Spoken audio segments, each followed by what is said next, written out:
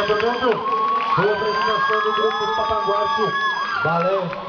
Popular de Bezerros, Pernambuco. Nós dividimos com vocês que os grupos que vieram, que vieram da cidade de Bezerros, Pernambuco, viajaram 2.600 quilômetros, ou seja, três dias de viagem para estarem aqui levando um pouco dessa miscigenação